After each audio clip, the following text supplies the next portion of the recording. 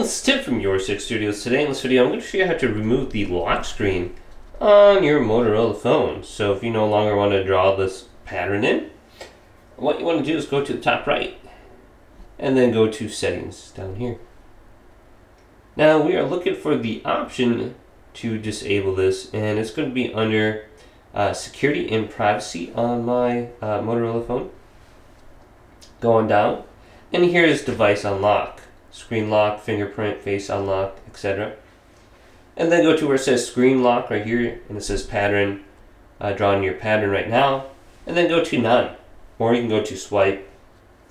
So choose one of these, but don't choose one of these down here. So we go to none and delete this, and then we can go back, and let's go ahead and just disable this and turn it on, and it goes right to my home screen. So most of the time I like to just set to swipe, well, hopefully this video did indeed help you out. If it did, leave a big thumbs up and subscribe to my channel down below.